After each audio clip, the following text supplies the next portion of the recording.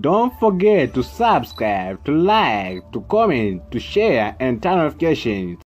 Costa Rica women will be at the pitch to play against Haiti women, which is women's international friendly match. Okay, let's focus on head-to-head matches, whereby in the last four games, Costa Rica women has been able to win in all four games. So it shows how much Costa Rica women are brave when they play with Haiti women. They are brave, but